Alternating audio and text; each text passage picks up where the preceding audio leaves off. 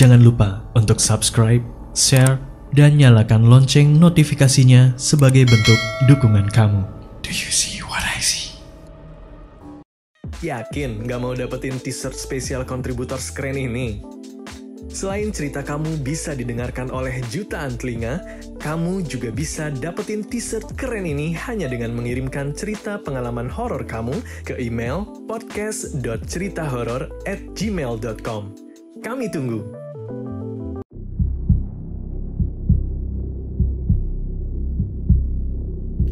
Saat itu sekitar tahun 2016. Waktu itu terakhir kali kami sekeluarga berlibur ke Jogja. Kami uh, memilih kam, uh, hotel yang tidak terlalu jauh dari jalan legendaris itu. Hotelnya bukan hotel berbintang sih, tapi ya cukup repres representatif lah. Uh, mungkin hanya tiga lantai ya hotelnya, jadi hotel kecil dan sepertinya sudah agak tua gitu. Kami dapat kamar di lantai satu dan kamar kami tuh tepat di ujung lorong lantai satu itu. Waktu uh, kami membuka pintu kamar dan seperti biasa ya setiap kali kalau masuk ke salah satu bangunan atau kamar yang baru itu saya selalu mengucapkan salam. Jadi saat pintu dibuka saya ucapkan assalamualaikum gitu. Tapi pada saat itu saya melihat uh, ada sesosok perempuan yang sedang tidur di atas uh, tempat tidur kami. Jadi seperti apa ya, bersender gitu di atas handbag tempat tidur. Saya kaget waktu itu. Saya hanya mengucap astagfirullah gitu. Dan suami saya nanya gitu, kenapa mah gitu. Saya bilang itu ada yang duduk di situ, saya bilang gitu. Tapi suami saya cuma bilang, nggak mana, nggak ada gitu. Terus ya sudah, dan itu memang hanya sepersekian detik gitu. Tapi itu jelas saya lihat. Terus ya sudah kami tinggal di Jogja di kamar hotel itu mungkin sekitar 4 malam saat itu. Malam pertama kami tidur di hotel itu tidak ada yang terjadi hal yang aneh. Hanya pada saat tengah malam saya mendengar uh, alunan gending Jawa yang cukup kencang dan itu keras banget ya maksudnya kedengeran jelas gitu. Seperti ada acara mantenan gitu di lantai bawah. Kan hotel kami di lantai satu ya. Jadi kalau ada mantenan atau ada acara apa gitu yang mem, apa ya mempergunakan uh, musik gending seperti itu pasti terdengar jelas. Saya pikir ya sudahlah mungkin karena di Jogja dan lagi liburan ya wajar ya kalau ada gamelanan gitu pada saat malam hari. Esok paginya pada saat sarapan saya bertanya pada resepsionis.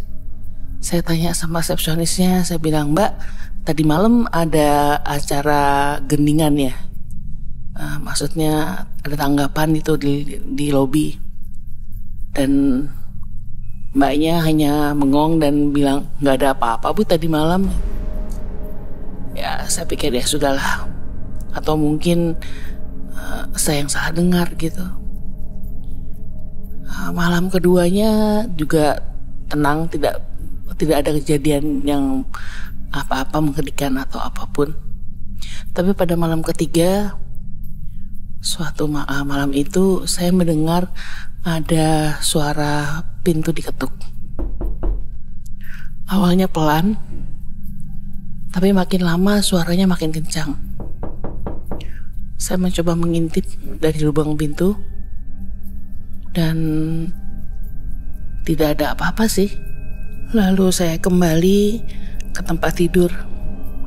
Tapi begitu saya kembali ke tempat tidur, ketukan pintu itu makin keras. Dan keras sekali waktu itu. Saya mencoba membangunkan suami saya.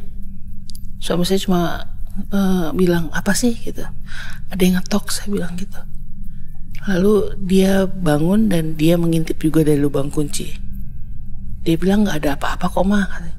Kamu salah dengar kali katanya begitu. Ayo tidur lagi. Terus ya sudah saya mencoba untuk tidur lagi. Tapi beberapa saat kemudian ketukan itu terdengar lagi. Dan kali ini tambah kencang suaranya.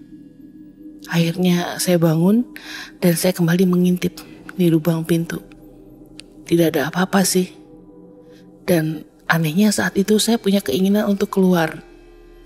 Jadi saya buka pintu kamar saya. Begitu saya buka pintu kamar saya, di sisi sebelah kiri tempat kamar kami, saya melihat ada sesosok perempuan berbaju putih, berambut panjang, ya kuntilanak lah, sedang berdiri membelakangi kami dan sedang mengetuk pintu kamar sebelah. Dan mengetuknya bukan pakai tangan, tapi pakai kepala. Jadi dia mengetuk dengan keras dengan kepalanya. Saya hanya saya sempat freeze ya waktu itu. Karena nggak tahu mau ngapain. Dan akhirnya pada saat perempuan itu tiba-tiba berhenti, tang, berhenti mengetuk, dan kepalanya tiba-tiba di uh, menoleh ke arah saya, saya langsung cepat-cepat masuk ke kamar dan mengunci pintu. Langsung saya ambil wudhu dan saya sholat tahajud malam itu. Karena saya ketakutan ya, saya nggak tahu bagaimana cara menghilangkan ketakutan ini dan uh, pikiran saya pokoknya jangan sampai perempuan itu masuk ke kamar saya gitu. Waktu itu anak saya juga masih kecil ya, jadi jangan sampai gitu kejadian mengerikan itu terjadi di dalam kamar kami. Uh, Alhamdulillah malam itu akhirnya berlalu dan hari terakhir kami di Jogja uh, tengah malam kembali saya merasa ada yang menarik kaki saya.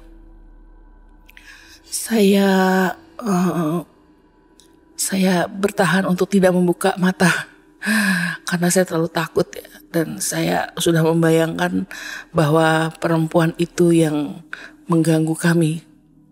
Yang saya takutkan perempuan yang kemarin saya lihat itu yang ada di kamar kami. Saya merasa dia seperti menarik selimut kami. Dan uh, saya saya nggak bergeming. Saya tetap diam sambil mencoba membaca surat yang saya tahu. Dan akhirnya malam itu pun berlalu. Kami pun pulang kembali ke Jakarta. Saya nggak tahu ya, apakah yang saya lihat itu benar mereka atau saya hanya berhalusinasi. Tetapi kalau saya berhalusinasi, mengapa kejadian itu serasa seperti sangat jelas. Saya nggak tahu ya. Dan sejak tahun 2018 itu sampai sekarang kami belum kembali lagi ke Jogja.